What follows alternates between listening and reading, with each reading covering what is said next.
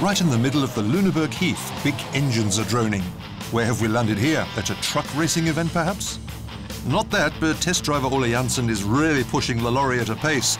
This is not the speed vehicles here at the so-called handling track would normally be going. But because we're joining him, Ole is accelerating somewhat.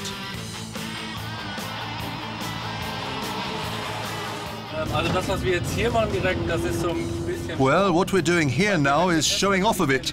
You see, when we're testing, we do it as close to real conditions as possible. That is, we test with lorry and trailer. And obviously also borderline situations with maneuvers like changing lanes to simulate emergencies. But the tyres, of course, should also have their characteristics in borderline situations. Whilst the large oval track is used to test particularly long-term wear, the handling track is used to test road performance and ride quality in tight corners. On both tracks, one needs experience and concentration to be able to quickly recognize eventual problems.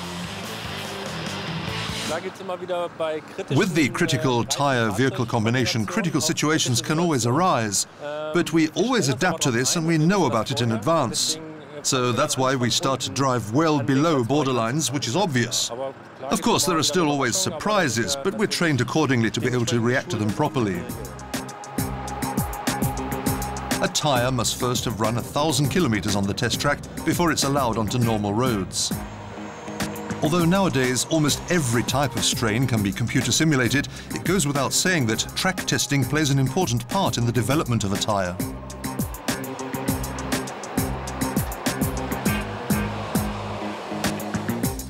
Would you mind taking over?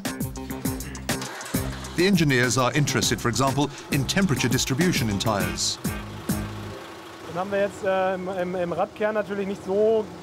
Naturally, we don't have such detailed data from the tyre hub, but in the shoulder area we reach temperatures of 54, 55 degrees, 53 degrees. And we first walk around and give them a bang.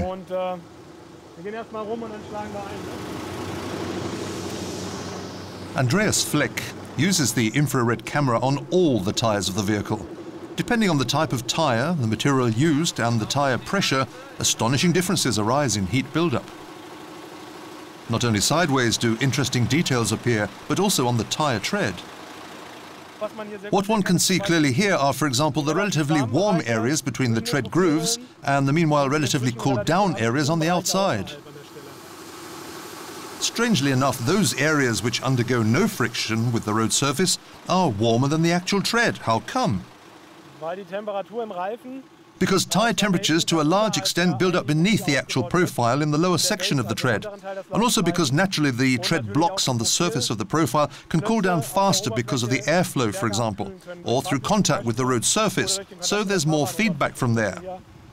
Right at the lorry's driving start, the temperature differences were far greater. Now, after the tyres have been at a standstill a few minutes, the difference becomes correspondingly smaller.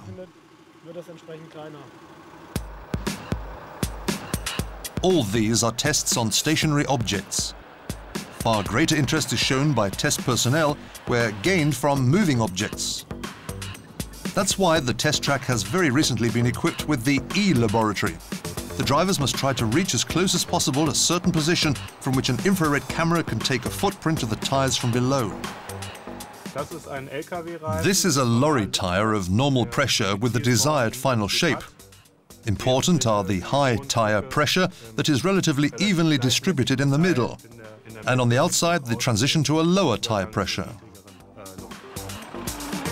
We're interested in how this would be with the wrong tyre pressure. That's why, after the normal lorry tyre, we're sending one with too little tyre pressure over the E-Lab. The difference in the tyre is hardly noticeable, but the test result looks quite different. What one now sees here is, on the one hand, the larger footprint area. In comparison, I'd now guess a good 10% larger footprint area. One sees in the shoulder area that the footprint has become longer, even longer on this side than on the other. And this leads to clearly more deformation energy being transformed into warmth. And this energy doesn't come from nowhere. That is the fuel consumption.